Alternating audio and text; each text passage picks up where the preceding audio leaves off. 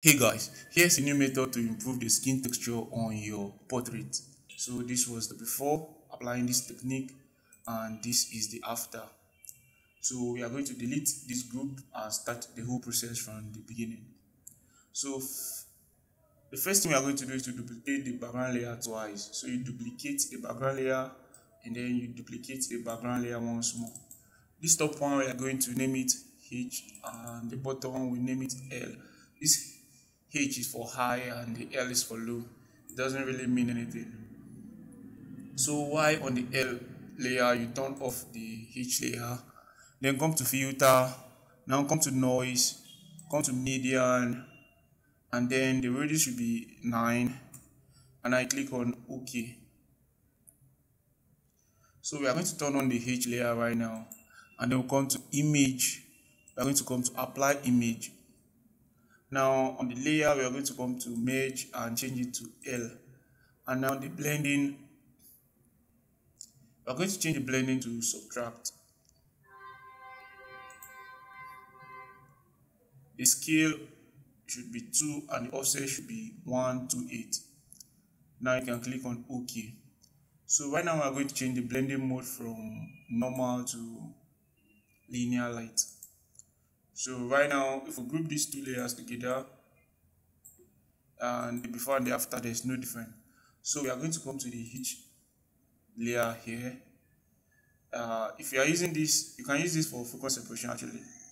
Uh, and if it's for frequency separation, this one will stand for texture.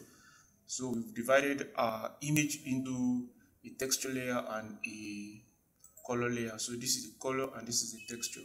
So let's just rename it like that this color and this is texture.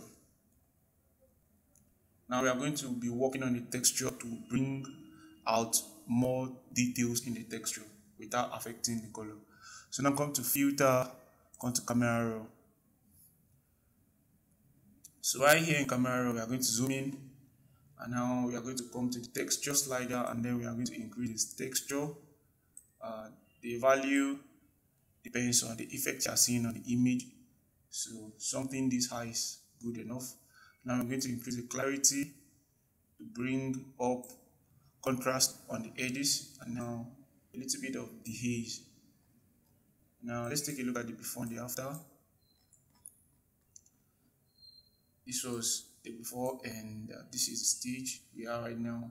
Can improve the contrast a little bit and now we'll come to detail Right here in the details, I'm going to sharpen image, the texture layer, I'm going to sharpen it. So let's zoom out so that we see what's going on. So this is before the sharpening. And I'm going to this.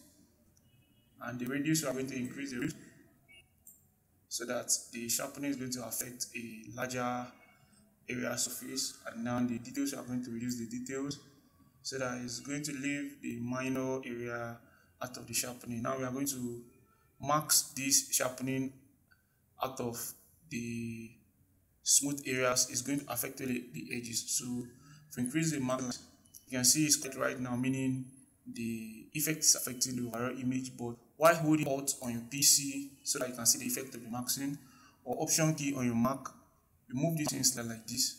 Right? The motion that represents the area that this sharpening is not affecting, and the Y present area is affecting. And like we previously said, we want this to affect just the edges. Like this is okay. So we have applied the sharpening. Here's the before. And here's the after. We can barely see the effect, but it's affecting the edges like this. It's going to sharpen all the lines. And now, when we are okay with this, we are going to go back into Photoshop by clicking on OK. So this is the effect right now being applied all over the image, which is not looking that professional, though it's now sharp, but there's still something we can do to improve this sharpening and make it look better. So on the texture, we are going to double click on our texture layer to bring up the layer style. If you double click on the layer style option is not coming up, just right click and now choose the blending option. So it's going to come up now we are going to come to the underlying layer. We are going to remove this effect from the darkest portion of the image like this. So move it to the right. Now hold Alt on your PC or Option key on your Mac. Then click on this slider to split it into two. And I take the first half to the end, that is the extreme left, and now you adjust this other one like this.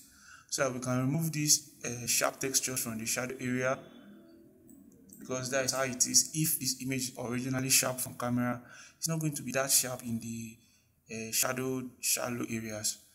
So that's why we are removing it from that area to make the sharpening look more professional and more detailed. So right now, for the final step, something we can do to still pop this sharpening out again, we can duplicate the texture. So duplicate the texture. Oh, this is too much. Now hold Alt on your PC or Option key on your Mac. Now hover on this texture copy until you see this down arrow button like this and now click on the texture and it's going to clip this texture copy to the texture. So right now I'm going to reduce the opacity to zero. Now we increase it gradually like this. Something around 10 or 5 is okay. Now let's take a look at the before and the after. This was the before and this is the after. There's a whole lot of transformation that have happened to this image. This was the before and this is the after. Image, you can still come to adjust the opacity just as much as you want. But for this video, I'm going to leave everything on the extreme end so that you can see this effect in its full manifestation.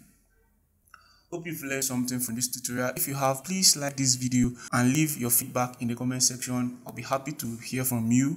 And also, you can suggest any video, any problem you're having on your retouching so that we can put out more videos concerning that.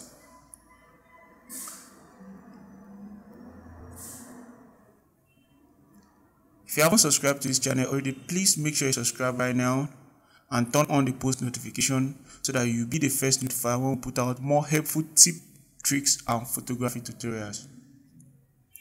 Happy to be part of the creative journey. See you in another amazing tutorial.